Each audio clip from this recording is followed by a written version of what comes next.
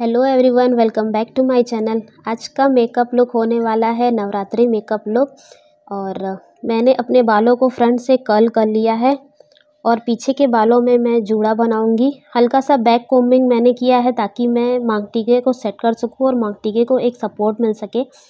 तो टिक टैक की हेल्प से सबसे पहले मैंने मांग टीका सेट कर लिया है। अब मैं पीछे के सारे बाल उठा के एक पोनीटेल टाई कर लूँगी और इसी पोनीटेल से हमारा बनेगा जूड़ा। आज मैं एक हेयर एसेसरीज़ भी ऐड करूँगी, जिससे मेरे बन को मैसी लुक मिलेगा। तो इस तरह से रबर बैंड से मैंने टाइट पोनी बना ली। उसके बाद इस पोनी टेल को घुमा के मैं एक नॉर्मल बन बना लूँगी और उसको रबर बैंड से सिक्योर कर लूँगी।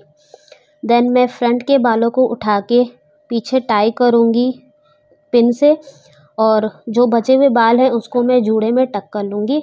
मैं कोई भी कोम यूज़ नहीं करूँगी, सब कुछ फिंगर से ही करूँगी। ताकि एक मैसी लुक बन सके। बहुत नीट हमें नहीं करना है और बचे हुए बालों को जूड़े में टक करके, फिर दोनों साइड के भी बाल उठा के मैं टक कर लूँगी और ईयर्स की तरफ़ से थोड़े से बाल निकाल लेंगे ताकि हम उसको कर्ल करके अच्छे से कर्ली लुक दे दें। मैंने सब कुछ कर्ल किया था लेकिन वो ओपन हो गया क्योंकि मुझे अपनी बेटी को स्कूल लेने जाना था तो अब बाल खोल के तो नहीं जा सकते ना अच्छा नहीं लगता। और ये हेयर एसेसरी लगा के मैंने जूड़े को कंप्लीट कर लिया। एक बहुत अच्छा सा मेसी बन तैयार हो गया।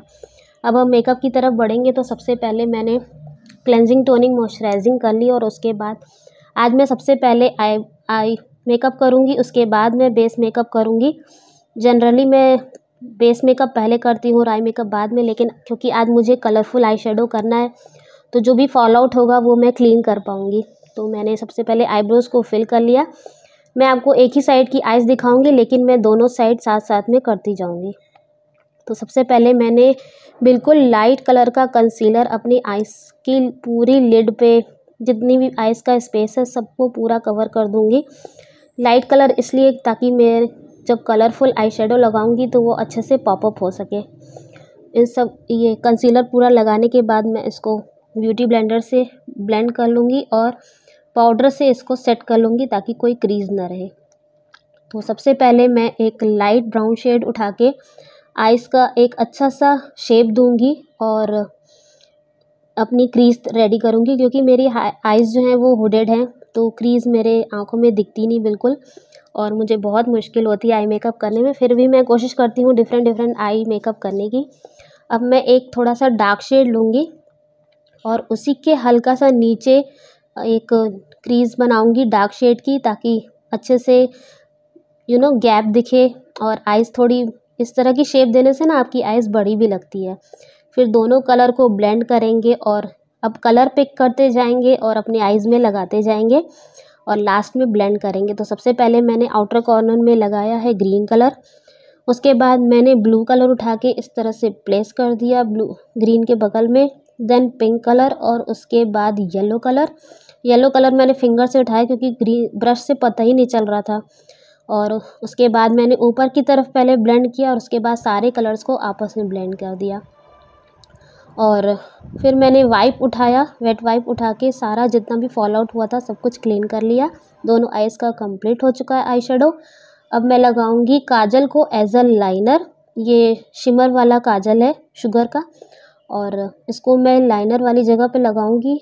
नवरात्रि लुक है तो थोड़ा शिमरी थोड़ा शाइनी थोड़ा कलरफुल लुक होगा तो अच्छा लगेगा। इसीलिए मैंने इसको एज ए लाइनर यूज़ किया अपनी आइज़ पे। देन अब मैं अपनी आई को कर्ल करूँगी और उस पर लगाऊँगी मस्कारा आज मैं फॉल्सीज़ भी लगाऊँगी। फॉल्सीज़ लगाना मुझे बहुत ज़्यादा पसंद है, लेकिन बहुत दिक्कत भी होती है, लेकिन लगाते हैं और दिखाते हैं आपको। मैं फॉल्सीज़ ऑफ़ कर कैमरा लगाऊँगी ऑन कैमरा मुझसे नहीं हो पाता। तो इस तरह से फॉल्सीज लगाने के बाद लुक कंप्लीट हो गया और एक बार फिर से अपनी ओरिजिनल आई और फॉल्सीज को मिक्स करने के लिए मैंने मस्कारा लगा लिया।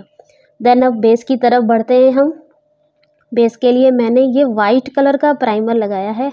आज सब कुछ मैं बेस में सबसे पहले वाइट वाइट यूज़ कर रही हूँ।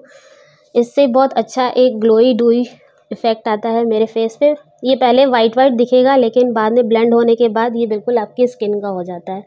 देन मैं एक और प्राइमर लगाऊँगी जो कि है पोर मिनिमाइज़र का प्राइमर और इससे मेरे जितने भी पोर्स हैं वो ब्लर आउट हो जाएँगे। देन मैं अब लगाऊँगी कंसीलर जो मेरी स्किन टोन से थोड़ा सा डार्क है।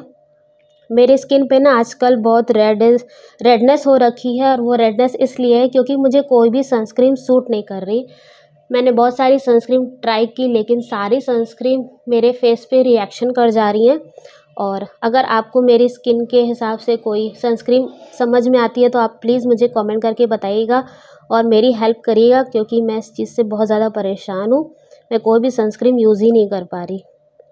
चलिए आगे बढ़ते हैं। मैंने कंसीलर को ब्लेंड करने के बाद फाउंडेशन लगा लिया और उसके बाद अब मैं लगा रही हूँ एक लाइटर शेड का कंसीलर अपने हाई पॉइंट पे, जहाँ जहाँ मुझे लाइट इफ़ेक्ट देना है, वहाँ वहाँ मैं लाइट कलर का कंसीलर लगा के और वेट ब्यूटी ब्लेंडर से इसको ब्लेंड कर रही हूँ। आज मैं कॉन्टोरिंग भी करूँगी, मुझे कॉन्टोरिंग बहुत पसंद है। ये फुल हैवी मेकअप है, आप चाहे तो ऐसे किसी की शादी में आप चाहे तो अपकमिंग करवा चौथ में भी इस लुक को कर सकते हैं। जब कंप्लीट मेकअप लुक होता है ना तो बिल्कुल फेस चेंज हो जाता है ना? और इस तरह से कॉन्टोरिंग करने के बाद आपका फेस तो आपके फेस को एक शेप मिल जाती है बहुत अच्छे से। नहीं तो अगर हम इतना हैवी मेकअप करने के बाद कॉन्टोरिंग ना करें तो बहुत फ्लैट फ्लैट चेहरा लगता है वो बिल्कुल अच्छा नहीं लगता, ठीक है? तो जहाँ जहाँ हम कॉन्टोरिंग लगाएँगे, उसको उसी जगह पे ही ब्लेंड करना है इधर उधर नहीं फैलाना है, वरना फेस को शेप नहीं मिलेगी। कहीं काला, कहीं वाइट ऐसे हो जाएगा, वो बिल्कुल अच्छा नहीं लगेगा इसलिए जहाँ जहाँ कॉन्टोरिंग करिए, एकदम उसी जगह पे ही आपको ब्लेंड करना है। देन हम ब्लश लगाएँगे हाइलाइटर लगाएँगे और अपने लुक को कंप्लीट करेंगे एक लिपस्टिक के साथ। तो सारा जब कंप्लीट हो जाएगा तो ये बहुत अच्छा ही मेकअप लुक निकल के आया है। आपको कैसा लगा प्लीज़ कमेंट करके ज़रूर बताइएगा। अगर आपको वीडियो अच्छी लग रही हो तो इसे लाइक करिएगा शेयर करिएगा। और अगर आप नए हैं तो मेरे चैनल को सब्सक्राइब करिएगा। तो आपको ये मेकअप लुक आई होप अच्छा लगा हो। मैंने सारी ज्वेलरी पहन ली, पूरा ड्रेसअप रेडी कर दिया, ठीक है? तो मिलते हैं नेक्स्ट वीडियो में। Till then bye love you all